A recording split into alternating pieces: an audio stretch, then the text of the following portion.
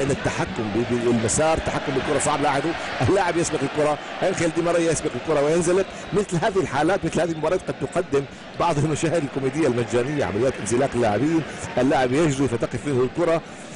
لا يمكن لوم اللاعبين. لاحظوا ماذا يفعل هنا؟ يعني اللاعب